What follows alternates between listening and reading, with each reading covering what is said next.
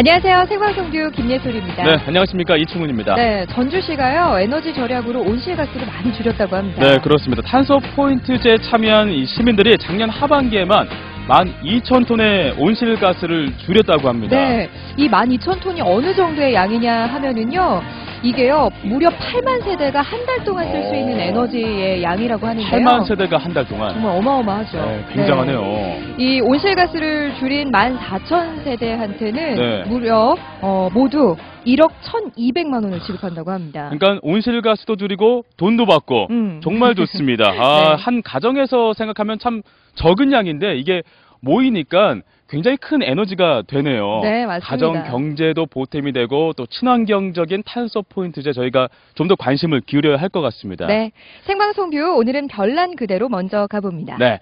가기 전에 제가 질문 하나 드릴게요. 네. 고기 좋아하시죠? 아, 고기 없이 제 인생을 말할 수가 없죠.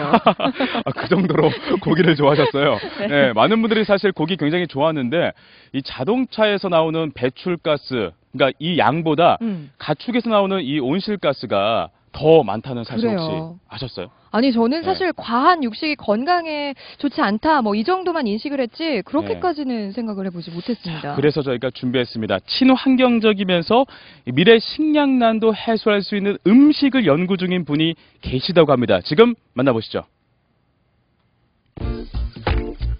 사람이 살기 이전부터 지구에 서식하고 있던 생명체. 머리, 가슴, 배, 삼등신에 여섯 개의 다리를 가진 작은 곤충들. 궁충 아빠라고 그럴까요? 할아버지라고 해도 될 겁니다. 젊은 사람이 그때는 징그럽게 부모보다도 더 사랑하는 사람이 있어요. 부모님의 마음보다 더 큰 귀뚜라미 사랑. 언제 어디서나 귀뚜라미들과 함께하는 이분. 기사에까지 등장. 대체 귀뚜라미와 어떤 인연이 있는 걸까?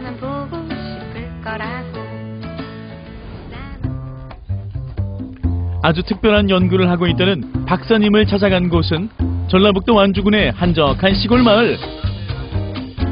과학 잡지 표지 모델처럼 자연과 어우러진 이분. 바로 오늘의 주인공 귀뚜라미 박사 이삼구 박사입니다. 귀뚜라미 박사님이라고요? 어쩐지 연신 귀뚜라미만을 관찰 또 관찰 특별한 애정이 느껴진다. 우리나라에 분포되어 있는 귀뚜라미 종류는 약 40여 종입니다. 40여 종 가운데 도감 형태로 나와 있는 것은 약 17종이 지금 보고가 되어 있고 전 세계적으로 2,400종의 귀뚜라미가 보고되어 있습니다. 그중 특별히 박사님이 연구하고 있는 귀뚜라미는 바로 이 쌍별 귀뚜라미. 무럭무럭 잘 자란 녀석들 은혜를 아는 건지 박사님 곁에 붙어서 떨어질 줄을 모른다. 암컷은 이렇게 끝털이 가운데 산란관이 있습니다. 이 뾰족한 산란관을 통해서 배지에다 알을 낳거든요. 반면에 수컷은 이렇게 작습니다. 아, 암컷은 이거의 두 배이기 때문에 크고 그 다음에 배도 통통하지만 이게 없어요 산란관이. 그래서 이 우리가 귀뚜라미 소리를 일반적으로 들을 때에는 귀뚜라미 수컷이 99.99%가 수컷이 우는 것입니다. 귀뚜라미 관찰도 식후경 출출해진 박사님 뭘 드시는 거예요? 이게 바로 미래식량입니다. 아 귀뚜라미가 미래 식량이라고요? 영양적인 측면에서는 우리 고단백질이고 그다음에 저지방이고 무기질과 비타민 매우 풍부합니다. 그리고 기능적으로 볼 때에는 어, 우리 강장 효과와 그리고 수- 어, 어떤 간 기능 개선 효과가 아주 탁월합니다. 조금씩의 차이는 있지만 이 귀뚜라미 고단백 저지방인 것만은 확실하다는데 다소 낯설게 느껴지는 귀뚜라미 식량 과연 시민들의 반응은? 눈앞에 바싹 말라있는 귀뚜라미들의 깜짝 놀란 듯한 표정 한번 도전해보는데 과감하게 한 숟가락 마른 새우처럼 담백하고 고소한 맛 뭔가 좀 꺼름시긴 했는데 막상 먹어보니까 바삭해. 좋아. 그냥 막 감자튀김? 튀김? 맛있어요, 근데 진짜. 다시 돌아온 귀뚜라미 농장. 사람이 먹는 건 다 먹는다는 귀뚜라미들. 오늘의 식량은 상추다. 어떤 먹이를 주느냐에 따라 그 영양도 달라질 수 있다고. 유엔사나 ISO 국제표준화기구의 대한민국 대표로 활동하던 중 우연히 접하게 된 대체 식량 곤충. 2014년 현재 세계 인구가 70억에서 50년에는 90억이 되는데 식량이 두 배가 필요합니다. 그래서 식량 부족 사태가 전 세계적으로 발생할 것이기에 이러한 미래 식량인 곤충에 대해서 연구를 하게 되었습니다. 유엔에서도 발표한 바 있는 미래 인구 증가에 따른 식량 문제. 풀 100kg을 먹이로 사용해 사육했을 때 얻어지는 식량이 소고기의 최대 12배인 귀뚜라미.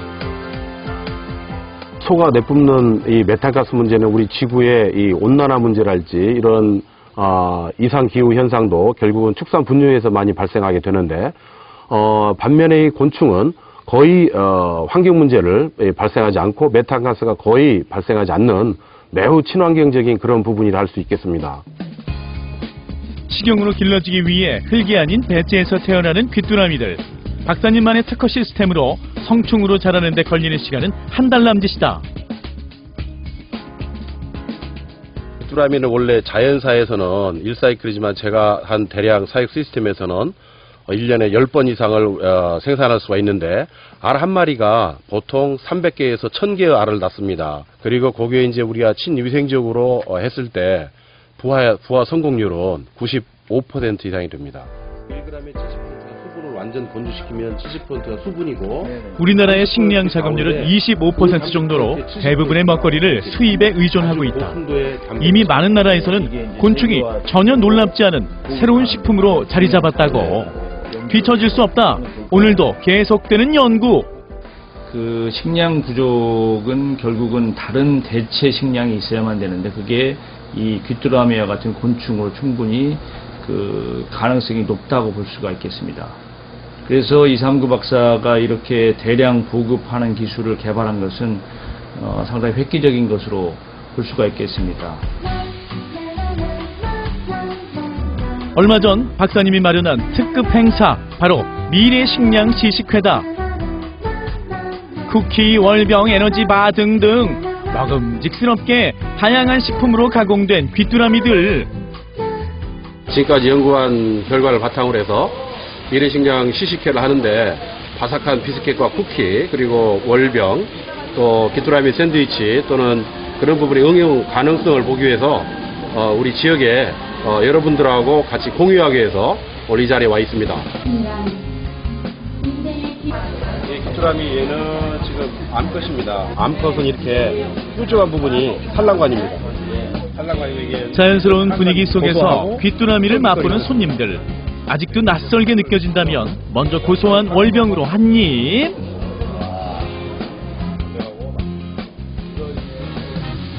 귀뚜라미가 식량이 될 수 있다는 것에 대해서 좀 신기했고요. 정말 맛있고 고소하고 사랑받는 아마 새로운 걸로 바뀔 것 같으네요. 실체는 보이지 않고 바다 속으로 쏙 들어가니까 아무 거리낌 없이 먹을 수 있을 것 같아요. 인식의 전환이 될 수 있는 좋은 날이었어요. 곤충 산업을 통해서 시니어 비즈니스 즉 친고령 어, 사업에 아주 적합한 그러한 부분이라 생각합니다. 그래서 우리 지자체를 통해서 이 사업을 확대를 시키고 어, 농가의 소득 그리고 은퇴자들이 충분히 어, 일을 할 수 있는 어, 복지 일자리를 창출할 수 있는 그런 부분이라 어, 생각하고 있습니다. 늦지 않았다. 지금이 바로 미래 식량에 주목할 때. 귀뚜라미를 향한 이삼구 박사의 끊임없는 연구와 도전. 응원하고 싶다면 올가을 와일드 푸드 축제로 귀뚜라미가 궁금한 분들 맛보러 오세요. 네, 여기 지금 귀뚜라미로 만든 음식이 준비되어 있습니다. 네, 과자가 나와 있죠. 네, 네. 제가 한번 먹어보도록 하겠습니다. 네, 그냥 보기에는 네. 일반 과자랑 별로 다른 게 어. 없어 보이거든요. 이거 보세요. 조만비아가- 똑같이 생겼는데 그만 먹어서 좀 미안한데 어. 같이 좀. 네. 글쎄요, 맛은 어떨지 모르겠습니다. 예, 궁금하네요, 정말 어떨지. 그냥 근데- 같은 맛인가요?